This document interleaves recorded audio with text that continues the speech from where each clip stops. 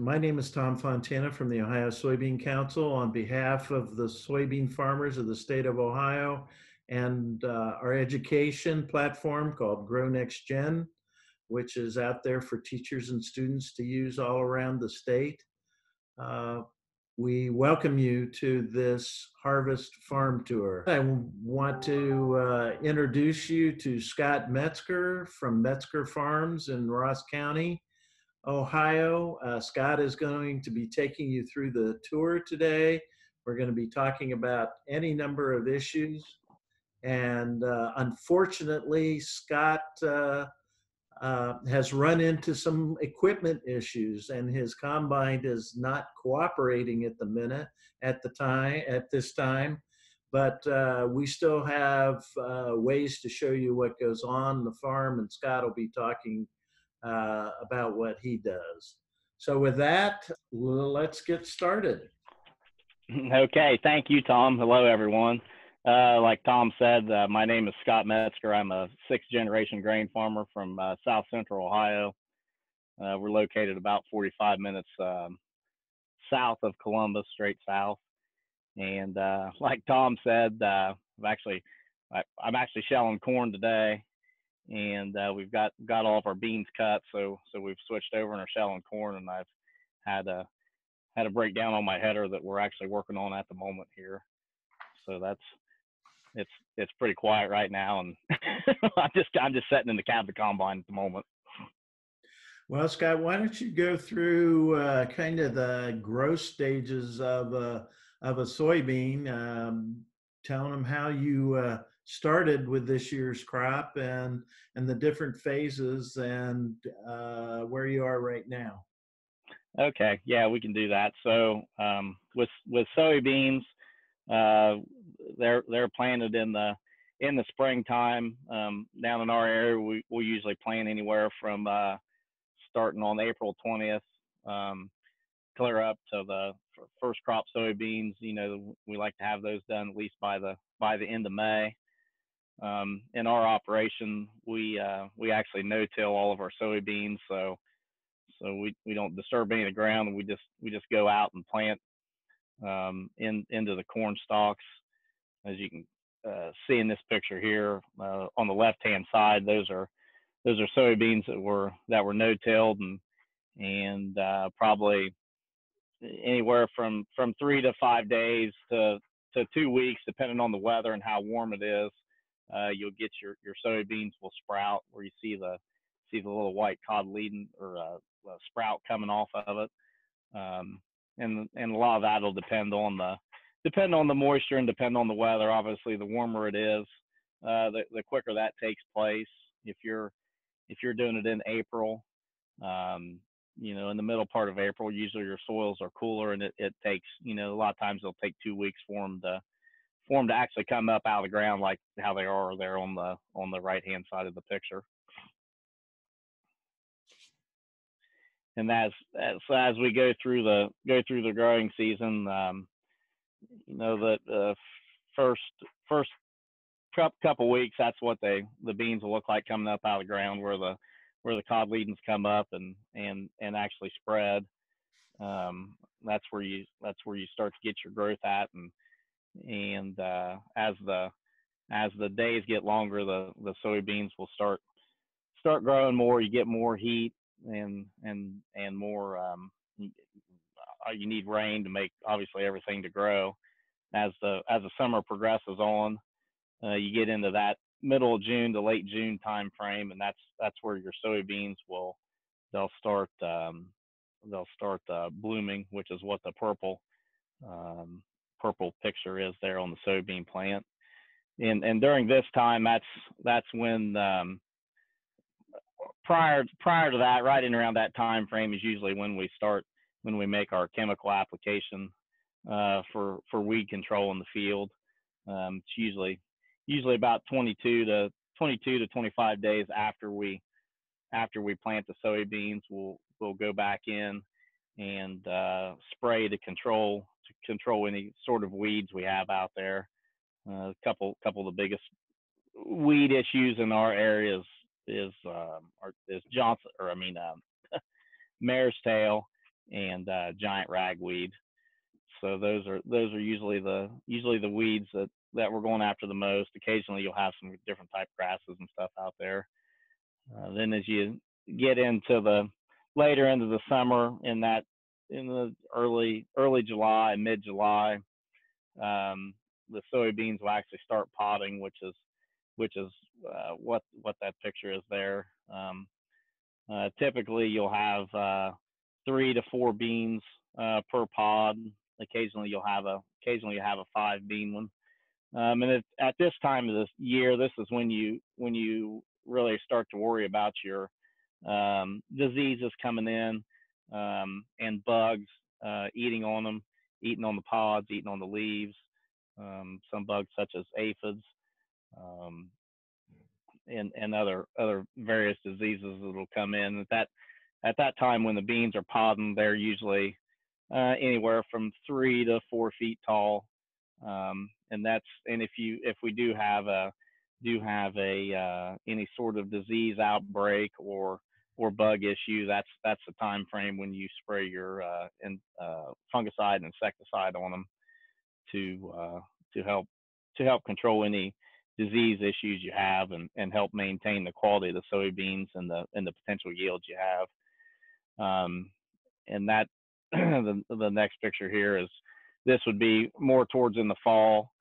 Um, in that if usually middle middle September, first part of October, um, middle September you'll start the the leaves on the soybeans will start turning yellow, and uh, that's when that's when you know the beans are just about fully mature and uh, actually the, the leaves will go ahead and completely turn yellow and just fall off and that's that's what you have uh, that the last picture there with the soybean pods that's what it that's what it looks like when they're ready to combine so uh, you know the growing season for beans is anywhere from middle of April to the to the to the beginning of September, uh, first part of October. Nor- normally by that time, uh, they've turned and and they'll be ready for harvest.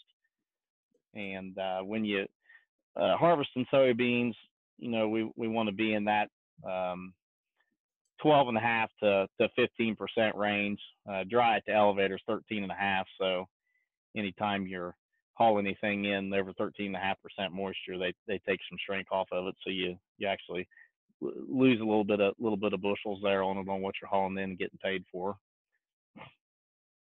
Well, Scott, we actually have uh, a few questions for you already. Thank you to our participants. Okay. Uh, uh, the first question is, what variety of soybeans are you planting? So we uh, in our in our operation we plant uh, mainly Pioneer and DeKalb. Um, we we have uh, this this year we actually did have some uh, non-GMO beans that uh, went to a facility um, just about a, about 40 minutes west of here that uh, that actually end up in Japan. Um, but but for the most part, mostly mostly Pioneer and um, and Asgrow beans, DeKalb beans and they've they've got a maturity range of, of anywhere from from three two to three nine is the the maturity range that we uh, we most generally raise. Okay. Uh, next question.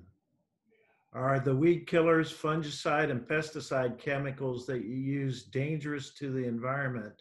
Are there multiple ones to choose from to be more environmentally friendly?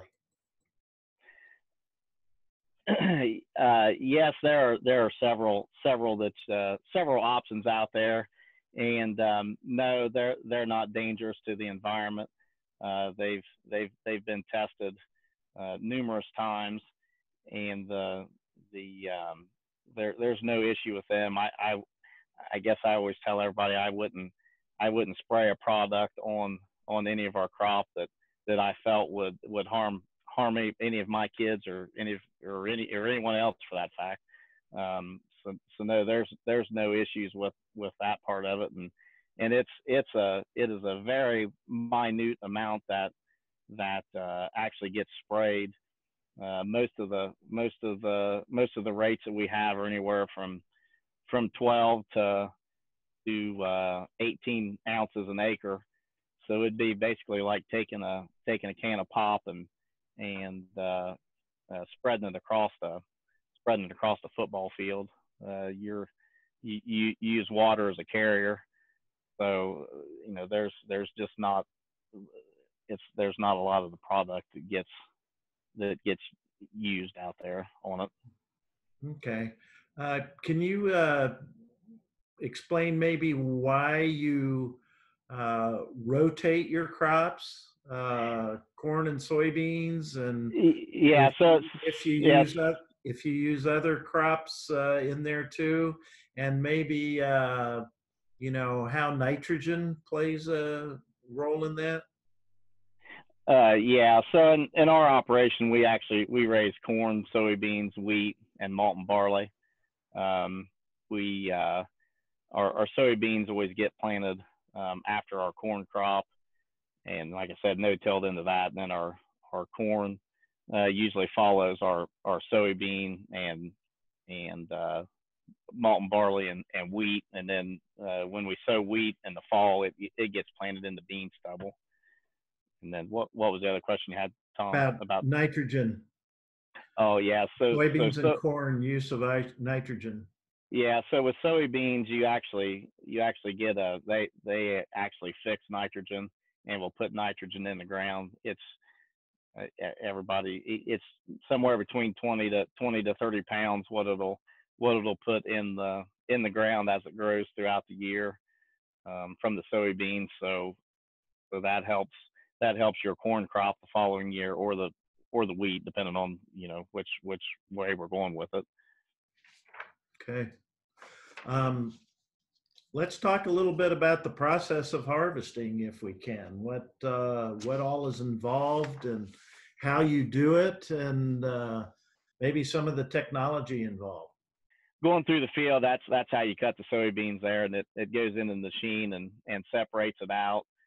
And um, I, I guess in our operation is, is similar to how this one here is in the video. We we utilize grain carts and semis, so um, we actually will unload the combine while it's while it's running onto a onto a grain cart, and uh, then the then the grain cart will take it over to our semis.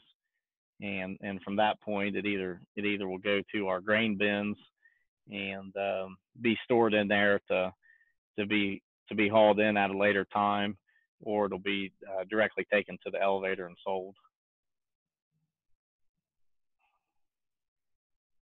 So, how many uh, how many acres a day can you harvest? uh, you know in a good day we can we can we can cut 175 to, to 200 acres um, depending on how big the big the fields are and how often we have to move um, but that's yeah a, a, a typical day's i guess a typical day would be 150 acres um, Okay. that's that's pretty attainable we the the header we have is 40 foot wide um, so it you know you can you ta take a pretty good swath through the field every round And how how many bushels to the acre of soybeans do you harvest? So usually, uh, well, we, we usually plant. We usually have anywhere from we usually raise anywhere from twelve to fifteen hundred acres, uh, depending on how the crop rotation falls, you know, year to year. Um, and and we you know we like to be in that we like to be in that fifty five to to sixty five bushel per acre uh, range. But you you take a year like this where we were so incredibly wet early, and then uh, you know, as stuff was planted a little bit later. I mean, we were fortunate down this area that the one we got everything planted that we we wanted to plant, and uh, wasn't wasn't quite as late as some of the areas in in the north northern part of the state. But um, you know, this this year we're we're looking at we'll probably be in the average somewhere of 47 to 48 bushel per acre um, for our soybean crop. So it's you know it's a, it's 10 to 10 to 20 percent less than what we're used to but um, still fortunate for the for the year we've had and all the all the various weather events from being super wet early and then uh, from the middle of August through the middle of September, you know, we were we were pretty hot and dry with you know very little rain, and that that's the and like I said earlier, when the when the beans were uh, making pods and stuff, you know, this year with the the crop being planted later, it was it was actually more towards the end of end of July, first part of August when we started seeing those pods show up, and and uh, during that time when when pod fills occurs, when you you know you, you need to get some rains on the soybeans, and and we pretty much just didn't get them this year. So um, you know you look at the when when we were combining the soybeans, uh, you know you get out and look and and or even scout them ahead of time, and a lot of times there'd be three or four potential beans per pod, but once you grab hold of the pod, there may only be two beans and a four four bean pod, and this the other the other two beans either never developed or or were you know so small that it really didn't make any you know di- difference on anything. Oh, very good. So I have a question, and then we'll get back to uh, how a combine actually works. But uh, do you have any idea how many tons of soybeans you will harvest this fall, or how many tons per acre, if you know that? Uh, oh, not off the top of my head. I I wouldn't be able to to do that math that quick, but but I would. Uh, you know, we'll we'll have somewhere we'll have somewhere around. Uh, we had almost 1,450 acres this year. So whatever that number is times, I guess this times 50 for easy math, that'd be how many total bushels we raised this year on it. But yeah, I don't. That's I guess if you multiply that number by 60 and divide it by 2,000, you'd be able to come up with a ton. Okay, I I just uh, I just roughly did it based on 50 bushels to the acre, 1,500 acres, 60 pounds per bushel that's 4.5 million pounds. Yeah. Okay. Yeah, that's, that's a that's a good uh, question. I've never. And we get uh, over 2,000 tons of soybeans. Okay. Yeah, that's a good. I've never. I guess I don't think of it that that way on the tons. That's that's a good question. Okay. Well, uh, let's, uh, if we can, uh, let's talk about uh, how a, uh, combine works. We have a short illustrated video here uh, to show the classrooms the process of harvesting soybeans with a combine.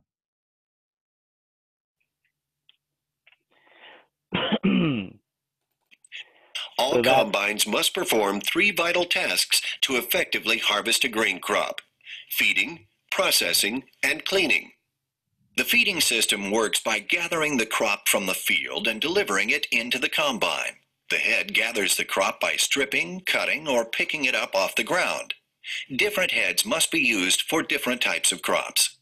Once gathered, the feeder house receives the crop from the head and moves it to the processor for threshing and separating. All combines have a processor, generally a cylinder or rotor, designed to gently remove or thresh the grain from the plant. The rotor rotates in one direction, processing the crop material. As the material moves through the rotor, it rubs across a metal grate or concave. The rubbing action removes the grain from the plant material. The grain and some small material other than grain, known as mog, falls through the concave, where it's permanently separated from larger plant material. The larger straw and mog moves toward the rear of the machine for discharge.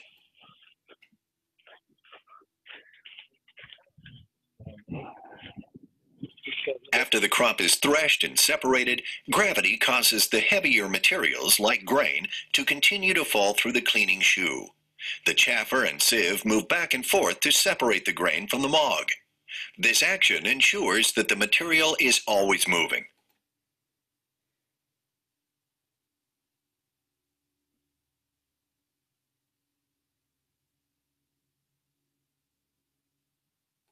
Once the grain is clean, it moves to the grain handling system for storage and transfer.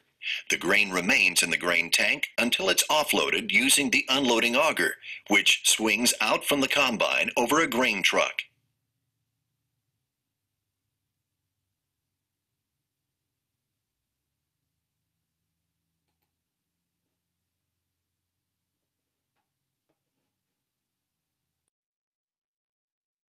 Oh, very good. Um, Scott, if you could just take a, a brief time and maybe talk a little bit about the technology that, that you use to combine and so forth. Uh, yes, I can. I can do that. Um, so in so in our in our in our combine here, we um, the the the one the monitor right here on the bottom, which it's obviously not on right now.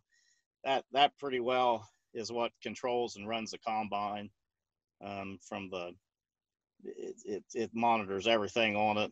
And then um, we also use an ipad to record all of our data as we're going through the field. And that that's that's what we keep our records on. We actually use that for planting spraying harvesting. And then um, these are all the the various controls. Um, this this is called the hydrostat here and that's actually what makes the makes the combine go forwards and backwards. And then the various buttons on it control the control the header and stuff and um, uh, various other controls to start and stop the header and adjust everything on it. But that's that's that's pretty much how our how our combine is set up. And then um, here's a here's a picture of the of the grain tank that the the crop actually goes into. That's that's corn in there. And it's probably uh, it's probably a quarter full. It holds holds approximately 200 and 250 to 275 bushels uh, depending on how full i fill it up. Okay, so now that we've gone through combining, uh, you collect your grain and where does it go from there? Uh, so, so all of our grain, um, we uh, we most generally uh, store most of our grain. We don't haul a whole whole lot in the fall. Um, just just it's easier and uh, and makes makes makes harvest makes harvest go smoother for us. Less less downtime with the combine. Um, but we we store ours in in grain bins, which are similar to what's what's being shown there on the on the uh, video screen. Um, and and then from that point on, um, once we decide to start to start selling some or to, to fill some contracts, uh, we will pretty we we haul pretty much year round um, out of the bins, but they'll they'll go from there to to an elevator. Uh, we've got two or three, uh, four elevator facilities that are that are within 20 to 30 miles from us, and that's that's where all of our beans will go. And from um, from from that point on, uh, that that's a that's a picture that would be unloading out an elevator there.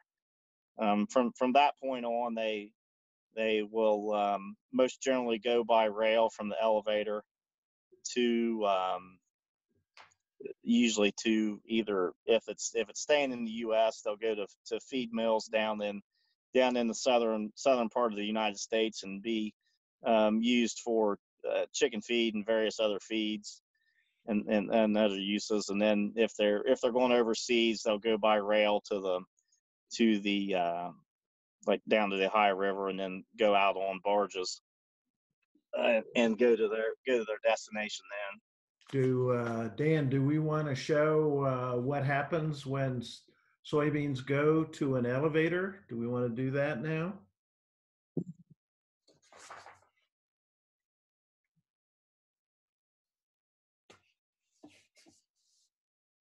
so this this process here is is uh, this would be you taking taking your truck to the elevator, and uh, that's that's called a, a pit that it dumps down into, and and your beans will go uh, from there into the the elevator, the the grain leg when it when it starts up, and it'll feed from the from the pit to the to the grain leg, and um, and and then from that point on, it it goes from the grain leg into your into the grain bins.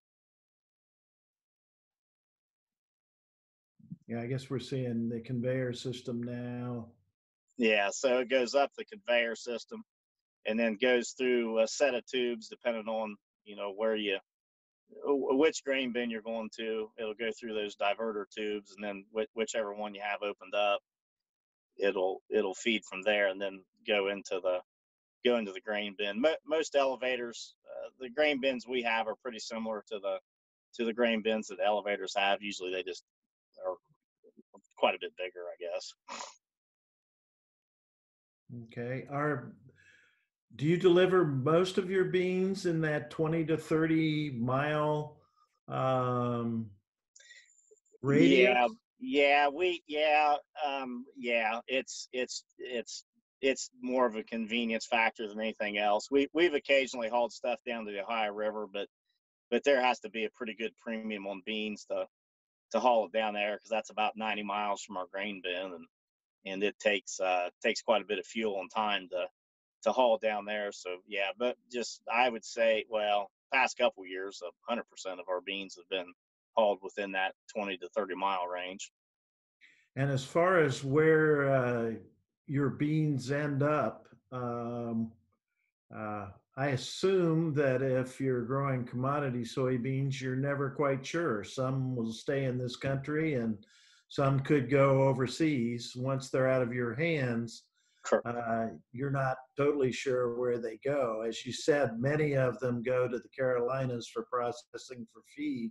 right Uh, now, your non-GMO soybeans, do you have an idea where uh, those go? Yeah, our, our yeah, uh, and uh, back to our commercial soybeans. Yeah, the the two elevators that we haul to around here, they they all go to the Carolinas uh, for feed, and then our our non-GMO beans that we raise, um, the facility they go to, they actually get loaded on um, railroad containers, uh, sh- uh, shipping railroad shipping containers, and they actually wind up in Japan.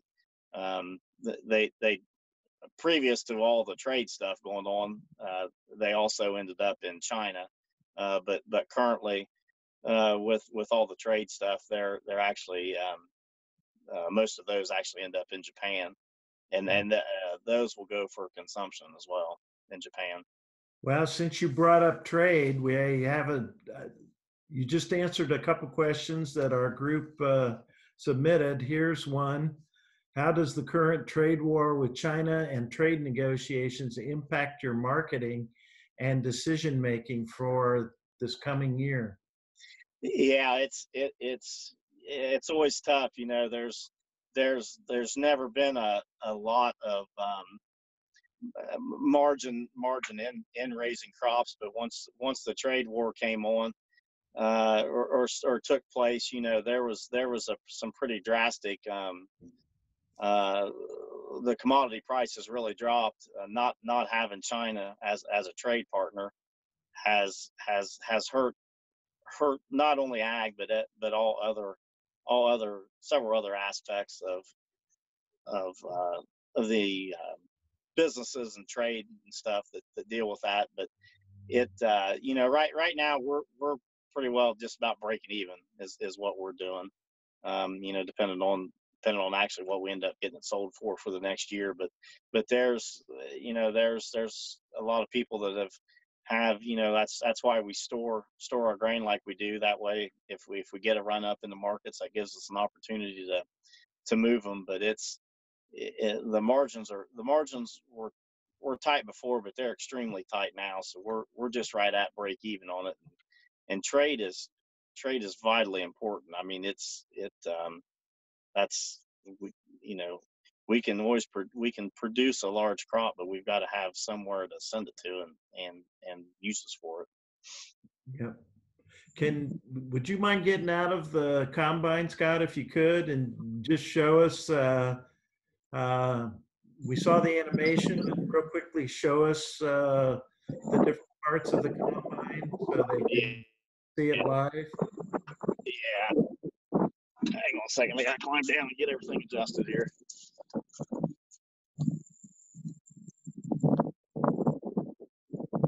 Yeah so this is our oops. This thing. So this is our this is the combine that that we have. Um, it's a it's a case international combine and this is the this is actually the corn head that's on the front of it. This is not this is not what you cut soybeans with on it so it actually enters.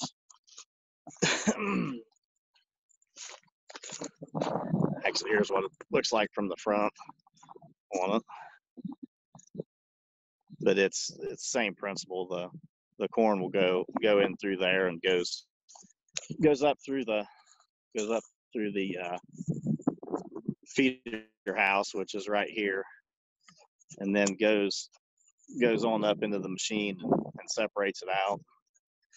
And the the threshed grain goes up in the grain tank that uh, that I showed earlier, and then um, and then the rest of it comes out of the comes out of the back end of it. Right there's the so that those those are called sieves there, and that's actually the the grain goes down in between in between those sieves, and then the the rest of the material comes out comes out of the back end and is spread by the by the spreaders here on the back.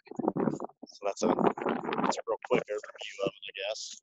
Okay, I have some more questions for you. How many rows, how many rows of soybeans when you're harvesting soybeans uh, can you harvest at one time? How many rows? Uh, it would be well, we can do we can do 40 we can do 40 foot so uh, that you'd have to figure that out there in 15 inch rows so i guess i'm not sure other than it'd be other than be 40 foot wide Okay. Uh, So I, I could probably figure that out. Yeah if you could do the calculations tom that'd help me i don't have anything here with me to do it real quick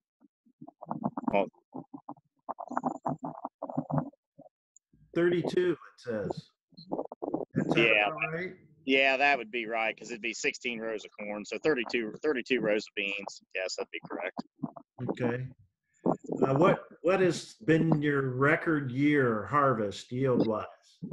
Uh, for soybeans, our best year would have been uh, back in 2011. Uh, we averaged, uh, we were right close to 70 bushel that year, and that that's been our best. And our our worst was the drought of 2012, when they were they were uh, clear down in the low teens, 13, 14 bushel per acre. Yep.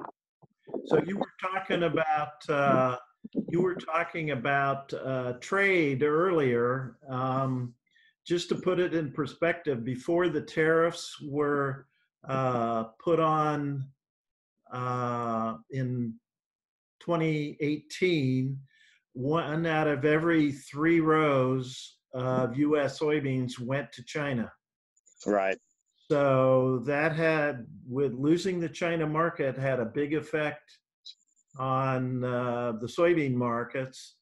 And uh, we, the soybean industry has been trying hard to diversify their markets over the last uh, year and a half because of that and finding new customers around the world. Now, recently, uh, China has been buying more soybeans. Right. Um, and uh, that's a good thing. As a result, the price has gone up a little bit, Mhm. but still, trade issues still are a big issue uh, for uh, farmers in Ohio and around the world. Yeah. The Ohio Soybean Council and the United Soybean Board and American Soybean Association, the United States Soybean Export Council all work together to build foreign markets because it's still a very high percentage of our soybeans go abroad, are exported.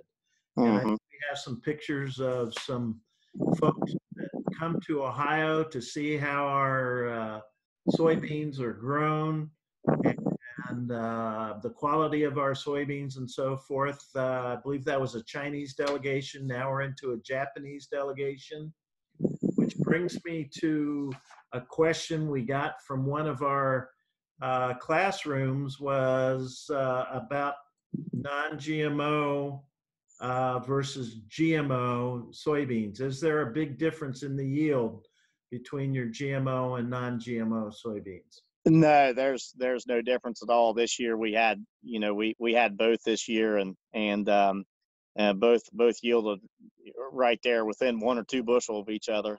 So yeah, no no difference at all in in the yield of them. Yeah, I guess the big difference with non-GMO is you have to keep them separated from uh, GMO soybeans. Um, the customers demand that. Many of our non-GMO soybeans in Ohio are called food grade soybeans.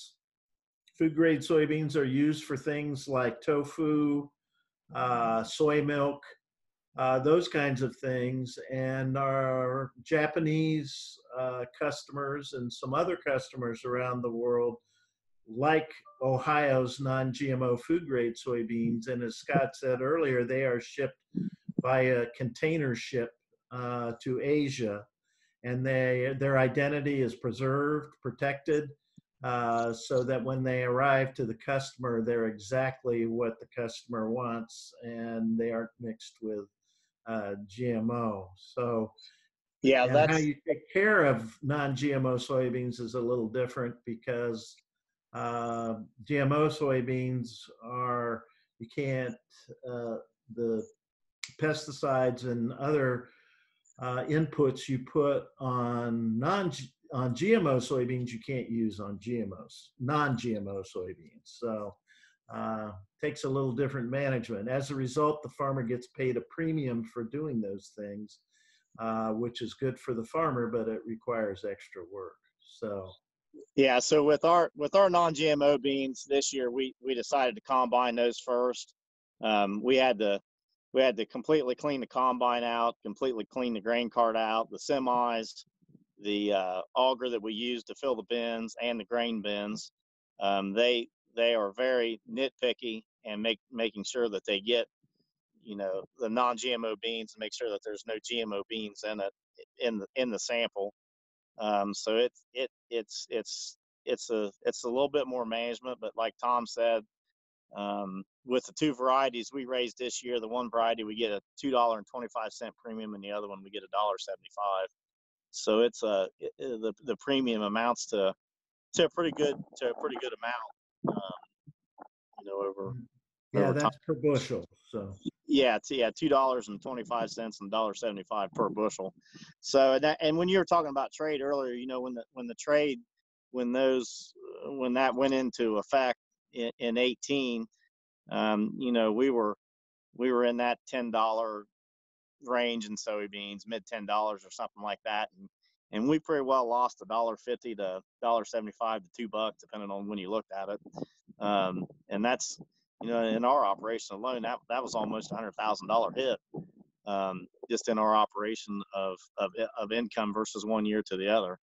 So it's you know it, it, it- it- the the trade part it it it's it's been a pretty big deal. speaking of your grain bin, this is another question from one of our classrooms. Uh, do you have to keep the grain bin bin at a certain temperature? Uh, when when we put the when we put the beans in there, we'll we'll most generally run the fans. Um, we'll run the fans. We'll run the fans when we're loading it to just pretty much just blow the dust out of it as, as we're uh, as we're filling it.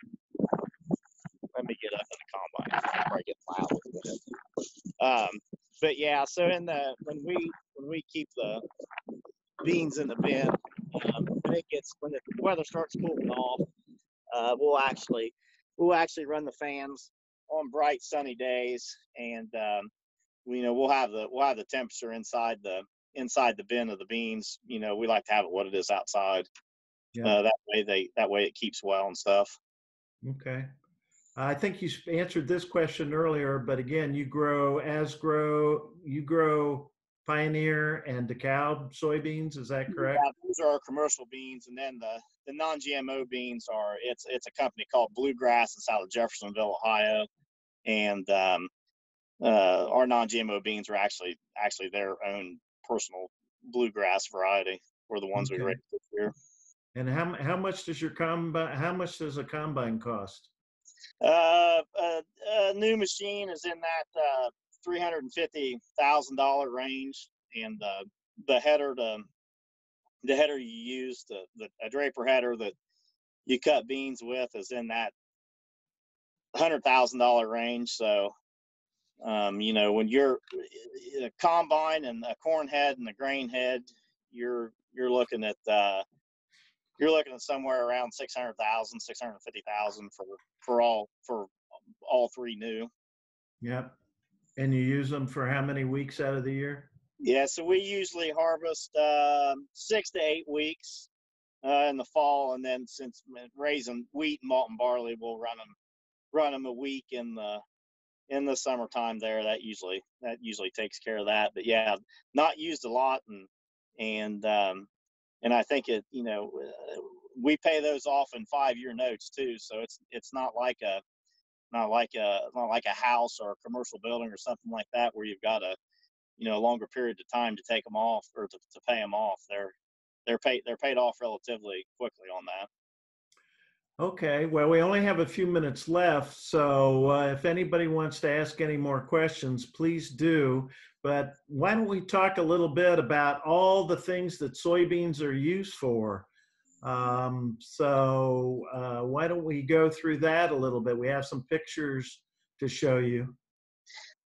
So right, uh, like we had said earlier, uh, the soybeans they, they get crushed and and and um, the soybean meals used for used for livestock feed that that would be the that'd be one of the biggest uses of of soybeans um, for, for chickens pigs uh, little bit little bit of cattle uh, another another big use would be a, a, another by, byproduct of it is, is soy diesel uh, we actually run soy diesel in all of our equipment um, we're currently using the using a uh, 10% blend. So so 10% of our diesel fuel actually has biodiesel in it, uh, which which is a byproduct of the crushing process.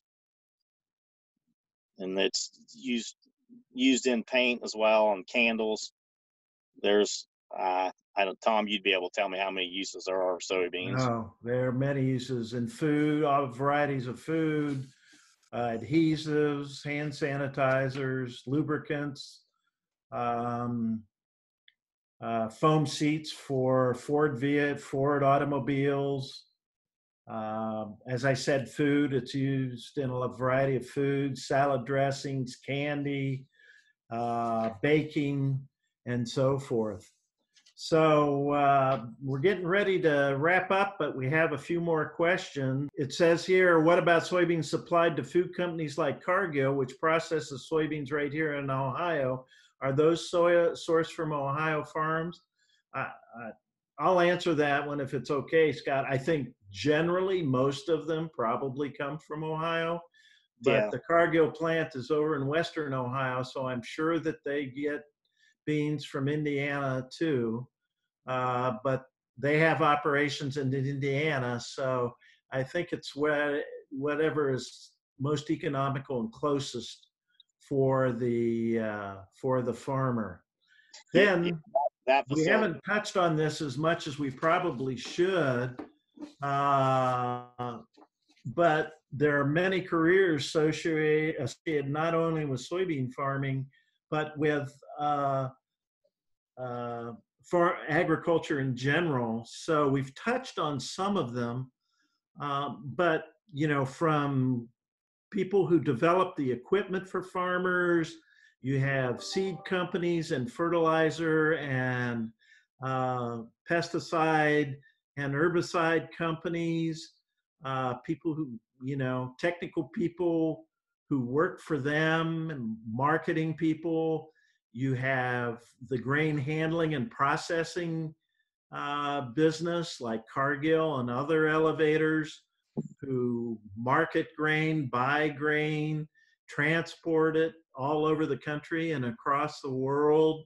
Uh, you have the transportation sector, trucking, uh, trains, uh, ships, transoceanic ships, shipping. Uh, and then you have all the manufacturing of food and industrial products that are made from soybeans. So there are a wide variety of uh, career opportunities from uh, business related to farming itself to developing farm products, uh, highly technical engineering and scientific jobs, uh, overseas marketing and logistics opportunities, development of new foods and new products and so forth. So there, uh, there are a lot of things that can be done. Uh, I think we had one more question, but I'm not sure we have any more time. I apologize if uh, if we didn't get your question answered, but uh, uh, we hope we answered most of your questions. We appreciate your time today. Uh, it's been our pleasure to come to your classroom. I want to thank Scott and Dan, our, our director producer today. And on behalf of Grow Next Gen and Ohio soybean farmers, thanks for joining us. We encourage you to go to the grownextgen.org website. There's lots of materials there for teachers, students about careers and interesting things you can do in the classroom and all designed to uh, help connect science to agriculture. So thank you very much for your participation. Uh, we hope to see you again in the future. Thank you. Everybody have a good day.